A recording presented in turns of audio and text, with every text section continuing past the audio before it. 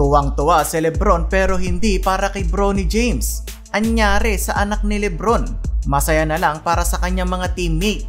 Nag-take over ang rookie ng LA Lakers na hype doon ang buong bench. Preseason game Los Angeles Lakers versus Milwaukee Bucks. So far mga idol wala pang naipapanalo ang parehong kupunan ngayong preseason.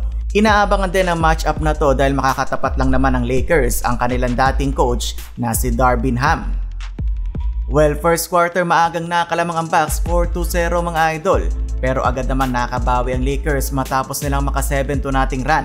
Binutatan ni Dabraw AD etong si Yanis. Nagresulta naman niya ng transition ng Lakers kung saan po makita ng one-handed dunk si Rui Hachimura Nagbago bahagya ang momentum at napunta sa home team nang pagpahingayin muna si LBJ at ipinasok ng Bucks ang kanilang impact guy na si Bobby Portis.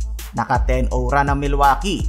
Nagiinit na kamay ni Portis mga idol buti na lang para sa Lakers ay may pamatay sunog na tres etong si Max Christie na maganda ang nilalaro ngayong preseason.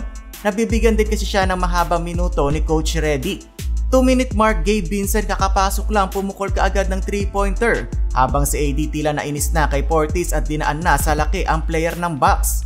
8 ora ng Lakers sa huling dalawang minuto ng quarter, 26-23 lamang ang Lakers.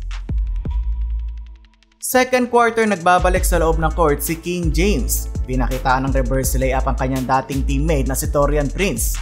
Seneryoso naman masyado ni Portis ang laban Halos wala nang mintisan meron ng 20 puntos on 7 of 8 shooting. Halfway ng quarter dinadali ni Giannis sa transition ng LA Lakers. Walang magawa ang bataan ni Coach Redick sa full head of steam ni The Greek Freak.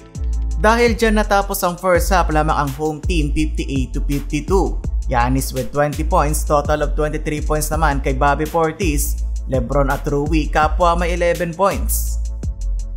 Third quarter tuluyan ng pinagpahinga ng Lakers si Lebron at hindi na ibinalik sa court.